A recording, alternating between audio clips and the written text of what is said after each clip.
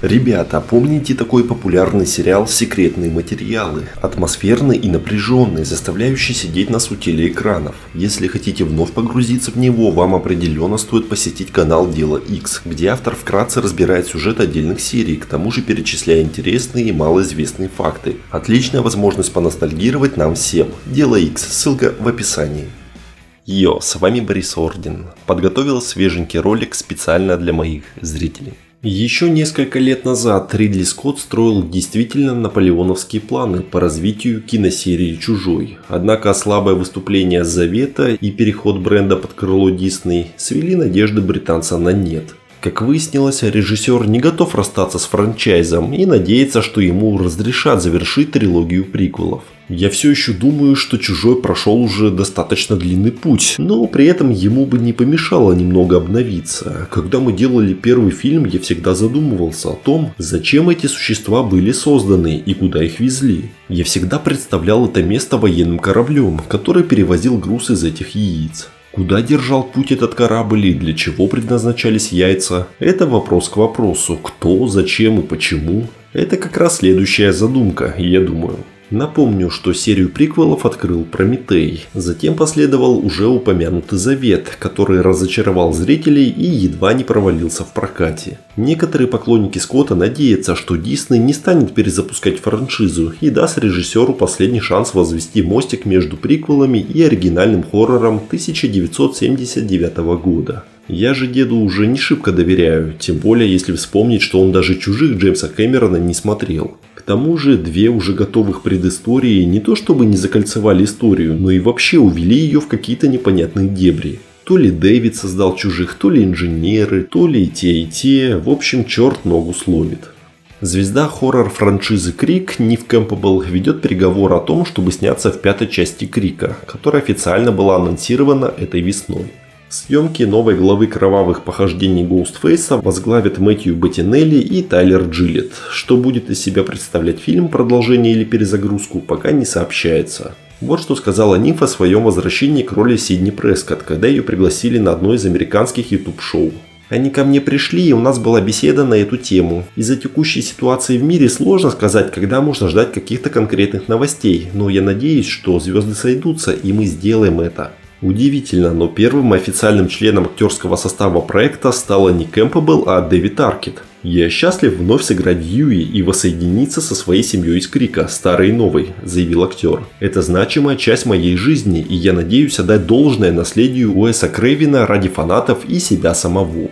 Аркет появлялся во всех четырех частях Крика. Его герой, полицейский Дьюи Ралли, сыграл важную роль в раскрытии личности Гоустфейса, не раз подвергался нападению, но умудрился выжить и стать шерифом. Первые четыре фильма киносерии снял Уэс Крейвен. В общей сложности они заработали в мировом прокате около 630 миллионов долларов, сделав Крик одним из самых успешных хоррор-франчайзов в истории кино. Хорошая и плохая новости для поклонников Безумного Макса. Я уже сообщал в одном из роликов, что студия Warner Bros. и Джордж Миллер закончили финансовый спор и приступили к созданию новой части франшизы.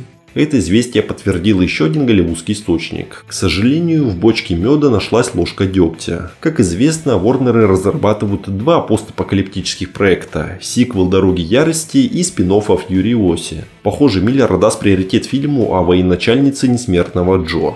Инсайдеры утверждают, что картина расскажет о юности Фьюриосы. В этой связи в сети появились слухи, что студия откажется от услуг Шарли Стерон и произведет рекастинг. Актриса заслужила лестные отзывы за работу над образом Фьюриосы в «Дороге ярости». Казалось, Шарли ждет большое будущее в киносерии. Вот только Warner Bros. может выступить в привычном репертуаре и принять очередное непопулярное решение. Голливуд овладел технологией омоложения звезд, однако Ворнеры вряд ли станут обращаться к помощи экспертов по компьютерной графике. Во-первых, создание CGI-модели на протяжении всего фильма влетит студии в копеечку. Во-вторых, компании придется перерабатывать не только лицо, но и тело Терран. Инсайдеры утверждают, что история развернется до того, как Фьюриоса начал работать над Джо. Возможно, мы встретим героиню в юношеские или даже подростковые годы. В таком случае студия найдет актрису подходящего возраста, а не станет возиться с омолаживанием Шарлиз. Поговаривают, что главную мужскую роль в фильме исполнит Яхья Абдул Матин II из Аквамена. В настоящий момент актер занят в другом амбициозном проекте Warner – четвертой части культовой «Матрицы». Официальные представители студии пока не спешат подтверждать слухи о сюжете и актерском составе Фьюриосы. Еще студия Warner Bros. может продолжить эксперимент по созданию серьезных психологических драм о комиксовых злодеях. Руководство компании подумывает о съемках сольника одного из сильнейших врагов Бэтмена – Бэйна – Фильм позиционируется в качестве идейного наследника Джокера. Максимум мрачности и реализма при минимуме супергеройской мишуры. Желание ориентироваться на драму Тодда Филлипса понятно. Джокер заслужил восторженные отзывы в прессе, выиграл два Оскара и разменял миллиард долларов при скромном 55 миллионном бюджете. Для сравнения, последний развлекательный кинокомикс Warner'ов «Хищные птицы. Потрясающая история Харли Квин» заработал 202 миллиона при бюджете 84,5 миллиона долларов. Поклонники DC Comics должны быть довольны эволюцией Бэйна на киноэкранах. Если в Бэтмене и Робине он казался глупым зомби-подобным монстром, то в ленте «Темный рыцарь. Возрождение легенды» его повысили до уровня сильного стратега с интересной предысторией. Инсайдеры предупреждают, что сольник Бэйна находится на ранних стадиях обсуждения. Его дальнейшая судьба будет зависеть от того, захочет ли режиссер Мэтт Ривз задействовать суперзлодея в сиквелах Бэтмена. Продюсер Индианы Джонса Фрэнк Маршалл в разговоре с Коллидер подтвердил, что пятый фильм франшизы снимет Джеймс Мэнголд, постановщик Логана и Поезда на Юму. Он заменит Стивена Спилберга, покинувшего проект в конце февраля. Маршалл отметил, что Мэнголд – идеальный выбор для проекта. Он замечательный режиссер и любит франшизу. Думаю, он нашел общий язык с Харрисоном Фордом. Все звезды сошлись в нужное время. Спилберг при этом будет помогать Мэнголду в качестве продюсера. По словам Маршалла, работа над сценарием только началась, и съемки стартуют не скоро. Одна из причин – пандемия коронавируса. Безусловно, сейчас в приоритете безопасность каждого, актеров, съемочной группы и всех остальных. Поэтому мы ждем рекомендаций, которые постепенно приходят от экспертов по здравоохранению и студий. Мы пытаемся учесть все необходимое, чтобы продолжить работу и оставаться в безопасности. Это явно замедлит процесс, поэтому мы попытаемся приспособиться. Например, какое-то время вы не увидите сцен с большим количеством массовки. На площадках больше не будет общей еды, и это, наверное, к лучшему. Люди смогут поддерживать себя в форме. Также бонусом Маршал рассказал, что хочет продолжить сагу о Джейсоне Борне. Надеюсь, мы сможем придумать новую историю и найти нового постановщика. Последний фильм вышел в 2016 году и собрал в прокате 415 миллионов долларов при бюджете в 120 миллионов. Релиз Индианы Джонса 5 намечен на 22 июля 2022 года. Он хочет привлечь к работе таких знатоков серии, как Стивен Спилберг и Колин Тревору «Извержение вулкана». Спасенные доисторические создания были проданы на черном рынке, однако многим удалось существовать.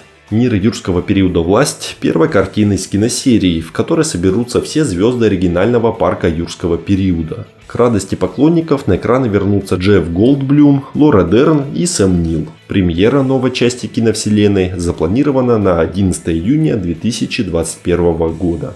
А как вы считаете? Поделитесь своим мнением. Поставьте лайк, сделайте репост и подпишитесь на канал Объект. Мне нужна ваша активность. Пока. Thank